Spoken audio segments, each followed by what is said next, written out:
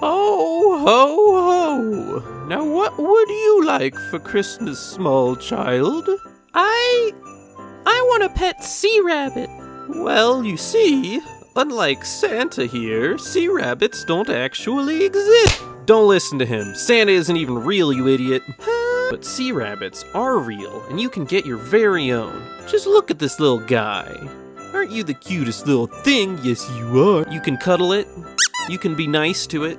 You can instill your deepest and most intimate secrets in it as your confidant. So when my mom walked in, she didn't even notice the body that was so, soft, you can't, even feel it. But really, it's it's like incredibly soft. When I first touched it, I was like, God now, this is a pre sale, meaning that if you don't order your official bona fide Sea Rabbit plushie in the next 10 days, you don't get one. See that guy over there? That's Father Time. He's speeding up the passage of time right as we speak so that you lose your chance to get one. Because he hates you.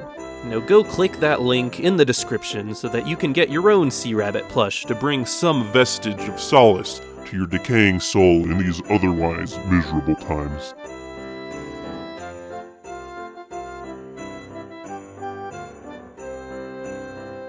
So, I have this thing called vasovagal syncope, which may sound confusing and technical, but I'll try to make it easy to understand. I know you came here to be entertained and occasionally blow air out of your nose at mediocre comedy, but stay with me for a second. I'm gonna teach you something medical, and I'll make it as relatively painless as possible. So, grease up those brains, put on your thinking caps, and get ready to, uh, to, to, to knowledge. And yes, I am qualified to do this because I am a nursing student, aka nurse boy extraordinaire, which pretty much means I'm a nurse, which is kind of somewhat close to being a doctor. So basically, I'm a doctor. Let's start by breaking down the words vasovagal syncope. Vaso pretty much just means your vascular system, which is your bloodstream. It's it's your blood vessels and stuff.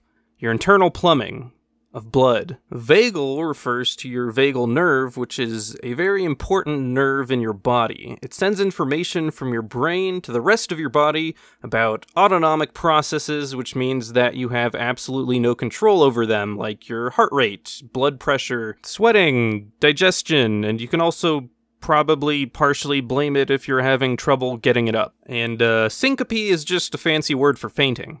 So you put these three parts together, and what do you get? Exactly! Bloodstream vagus nerve fainting. It all makes sense now, right? Oh? It doesn't?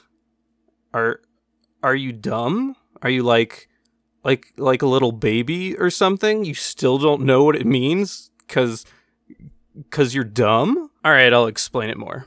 Vasovagal syncope is your body's overreaction to certain triggers that it perceives as unpleasant, disturbing, or emotionally distressing let's pretend that there is a fellow and he has experienced vasovagal reactions.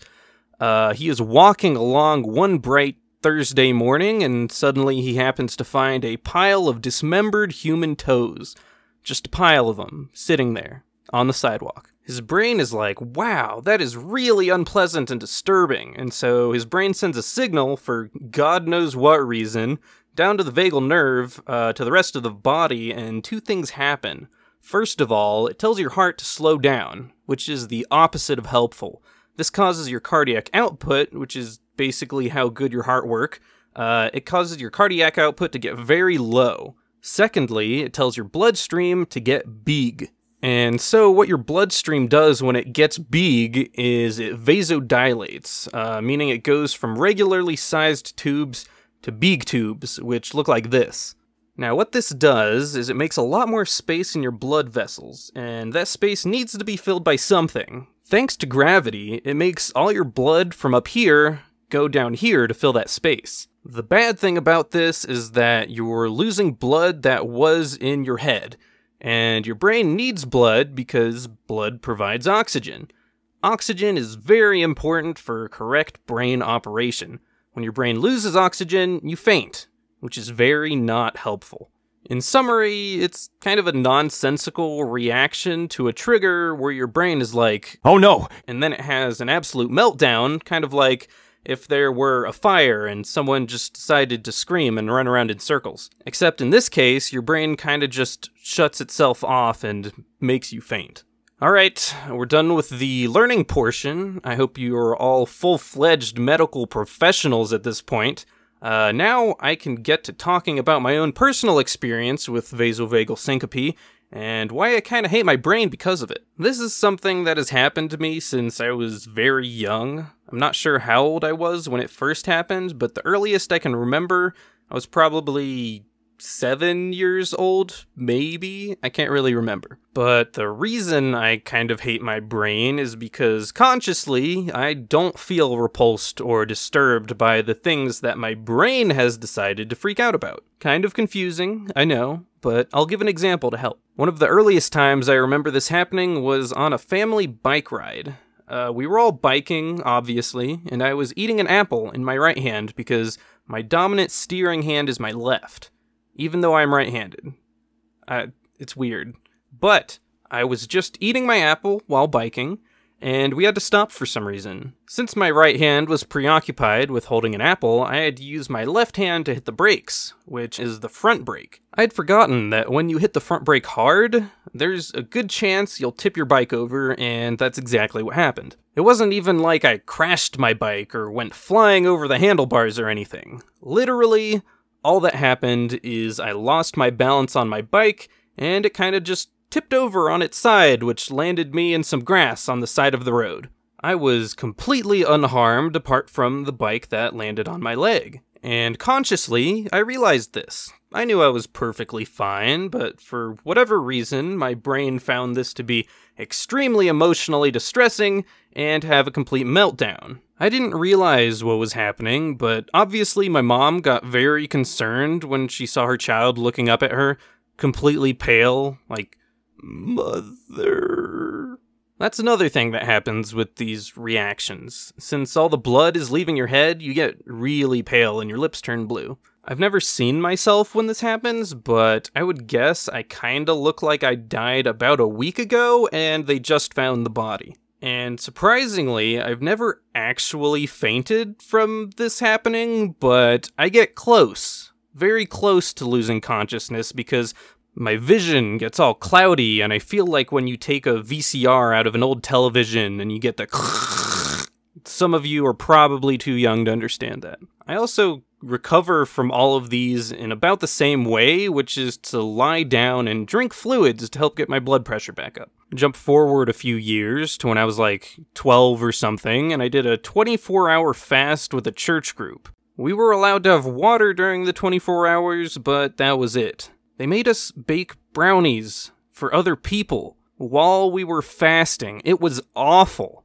I made it 23 hours and 30 minutes without eating anything. And then my brain was like, I am so hungry right now that I am going to completely shut down. And so once again, I could feel the blood leaving my head, so I turned to one of the counselors running the group and I was like, Hey, I don't feel too great. And then he saw this deathly pale child staring up at him about to pass out, so I was dragged into a room where I could lay down and given orange juice, which was against the 24 hour fasting rules, but they didn't want me to pass out. I found that to be extremely annoying because it essentially meant I was the only person who couldn't last the full 24 hours without caloric intake because I got weak brain. So you kind of get what I mean when I say I hate my brain. It's not like I felt physically hungry enough to pass out, but my brain decided to do it anyways. It's like I'm fighting some internal force for control over my body where the smart, logical me just wants to keep going about things normally, but there's this crazy monkey that wants to absolutely smash the big red faint all your problems away button. At least it doesn't happen enough to be a real problem. It's maybe happened like close to 10 times in my entire life, and it happens far less frequently now than when I was younger. It's also happened in response to disturbing medical things, which would make you think, wow, it's probably a bad idea to be going into the medical field then.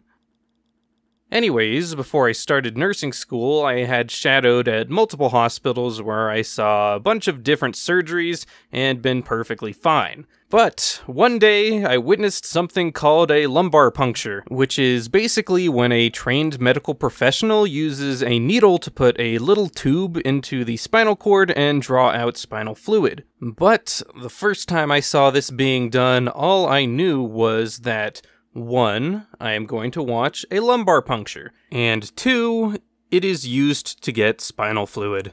That's it. I had no idea what to expect otherwise. I expected to see something get punctured, which I derived from the name lumbar puncture, but other than that, no idea. So, I am watching as the patient just sits on the side of the bed. Okay. The doctor is now injecting something into their lower back with a needle. Uh, they now have a different, much larger needle. Wow, that that is a large needle. They're really, oh my god, they're really putting that thing far into the patient's back. I wonder how deep that's going. Okay, okay. They they took something out, but there's still a plastic device creating a hole in their back. Okay, they're they're putting something back in the hole. I wonder how deep that goes. Oh my God, that looks painful. I wonder if the patient can feel it, dear God. And then my brain starts to freak out because of all of these unknowns, and it kind of just jumps to worst case scenarios.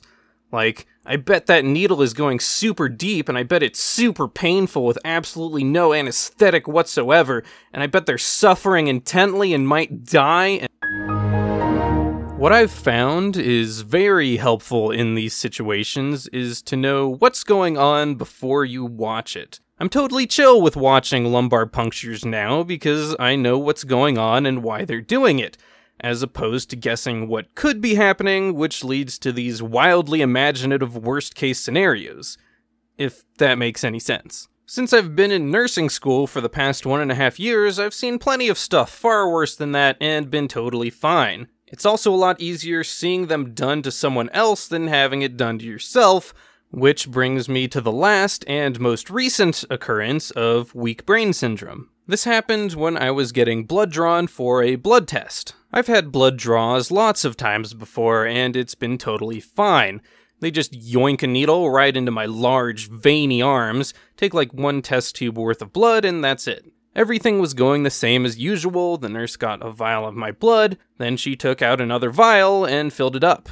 Then she took out another, and another, and another, and another. Another one. This was totally unexpected, and my brain went along the line of thinking that she was taking a significant portion of my blood, which she wasn't, but it, of course, started to freak out. I think it was around the seventh or eighth vial that she looked at me and said, You don't look so good. And I was like. At which point, I was heavily assisted to a bed where I could recover. Once again, didn't actually pass out, but got pretty close. This kind of goes with the same idea that it's helpful to know what to expect in these situations so that you can properly mentally prepare yourself. Also, I only had like a bowl of cereal and some water that day, so my blood pressure was already super low, which didn't help at all. But before I end this, I kind of want to give a pro tip for anyone who may experience the same thing. First of all, if you think you might be put in a questionable situation where your brain freaks out, it's helpful to be well hydrated and have eaten plenty of food to keep your blood pressure up, unlike what I did. Also, if you do feel yourself becoming lightheaded, like you might faint, uh, sit on the ground, preferably with your back against the wall. Uh, this is especially important somewhere like a hospital where you might be given a chair to sit in. If you actually faint, that's still a good two foot drop for your head to fall on some hard flooring, which could cause some serious damage. Alternatively, if you want to get the worst possible head injury from fainting, the technique would be to jump in the air so that you lose consciousness while in midair, and then there will be no way to stop your head from hitting the ground in the most damaging way possible. Thanks for watching. In other news, I made an Instagram because I want a way to put out more personal content that I wouldn't put on my YouTube channel, such as pictures, probably some lifting videos, and, uh, photos.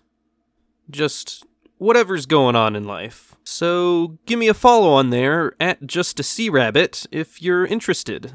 But, uh, I really kinda, uh, just, uh, anyway, thanks, bye.